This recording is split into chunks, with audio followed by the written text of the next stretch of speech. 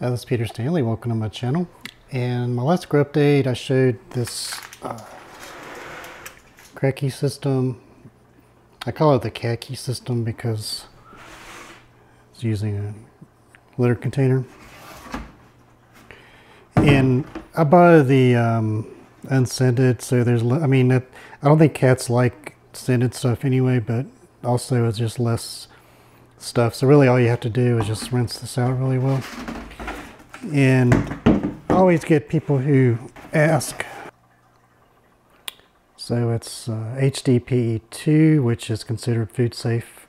So you don't have to worry about that. So yeah, so basically what I'm going to do is drill a two inch hole for a two inch net cup and secure my plant. I'm going to put one of these tomato cuttings that is rooted in there, cutting from this plant, and uh, just fill up with nutrient.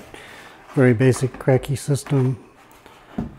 But uh, what's cool about this is this holds two and a half gallons approximately. So a lot of things you could grow start to finish with two and a half gallons. Tomato, probably not. I might get some fruits, but I may have to add some to it. But so yeah, as I get these uh, going, I'll probably end up with a few on the porch this summer. But uh, yeah, this is a red romaine that's growing really well. There's still a ton of nutrients. This will actually mature before it even runs out of nutrient. So anyway, let me uh, go to the basement and I'll just show you how to set this up. Okay, so I'm in the basement and I'll show you what I'm using. So I'm drilling this for a standard two inch net cup and I'm actually using a one and seven eighths hole saw. And that's because the standard net cups, if you use a full two inch hole saw, it's gonna be hole's gonna be a little too big. Unless you have the wide rimmed two inch net cups, those will work fine with a two, uh, true two inch hole. For these that don't have the wide lips, use a one and seven eighths. It comes out great. So what I'm going to do is drill in a forward position until the point just penetrates the top. And then I'm going to switch it to reverse and that makes it easier um, to get a clean hole without tearing up anything. So let me go ahead and do that. So I'm going in a forward position now. All right. And now I'm switching it to reverse. Okay. All right, so now this is ready. So really at this point, you just need to drop your net, net cup in there. It will stick up just a hair, but it's okay.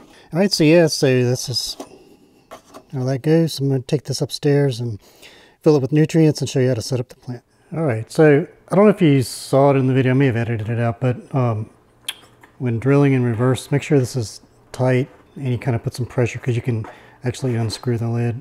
That's just one thing to make note of. Um, so anyway, that's ready to go. And I think I'm going to use Hydroton clay pebbles to secure the plant. And so let me get the tomato. Actually, let me fill this up first. So i have got Mega Crop at um, like three grams per gallon. So I'm just going to add some of it in here already.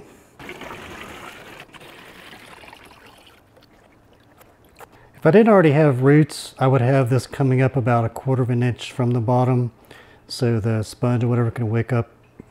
But since this already has really long roots, I'm just going to lift it a little, maybe a quarter of an inch under the cup. You'll see why here in just a second. So this is my tomato cutting. It's been in the AeroGarden sprout actually one of the older, the oldest model sprout still works. So um, I'll try to break some of the bottom of the sponge off because it's too tall for the cup. Yeah, there we go.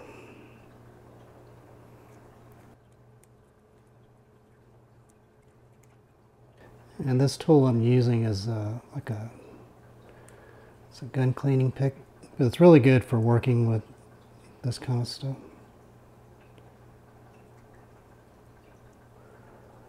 Okay, so that's pretty good. All right, so I'm going to fill around with some pebbles.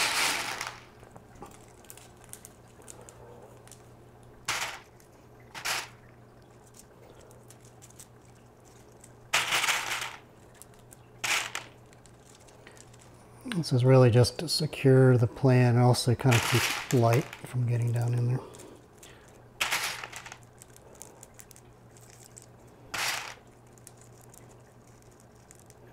That's probably fine. So lower my roots down in there. And that's very secure, it's not going to come out. And that's pretty much it. Just give it a light source and um, let it go. One thing I wanted to mention, you want to block, it's just a little bit, uh, it's not perfectly clear, but it's enough to allow light to penetrate this and start growing algae. So I recommend wrapping something around it. A couple big pieces of aluminum foil to do the trick. I actually should have done that before I installed the plant. Well, actually I can pull that out temporarily, put the aluminum foil, kind of cover it, put, you know, and then reinstall it, which I may do. So basically, um, like I've got this, if you're doing a um, one and done kind of thing, like with lettuce, something that's gonna, whatever, when it's mature, you're gonna dump it out. You could just throw this away and then reuse the lid on a new container, but uh, I'm gonna put aluminum foil around mine and I'll stick it under one of my lights. calling it the Catky system. It's really Kratky. It's a passive hydroponic method popularized by uh, Bernard Kratky. And it's very simple. You don't have to have any moving parts, no aeration or anything. It works great in warmer weather too. Eventually I'll probably get these going on my porch, but for now I just have them under grow lights. Thank you very much for watching. I'll post some updates on this as it progresses too. I'll show it in future videos. But thank you very much for watching. Uh, please like, comment, and subscribe.